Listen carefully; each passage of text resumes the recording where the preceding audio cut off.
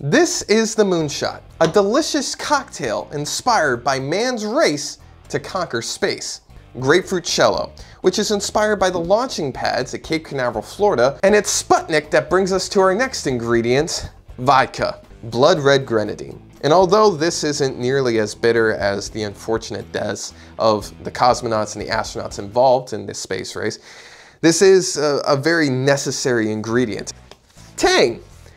Because after all, what is better than the quintessential product that came out of the space age? Isn't that a thing of beauty? It's a wonderfully sweet drink, one that I think would be really good at any party. Overly sweet, subtly fruity, one that makes me want to blast off and go touch the moon.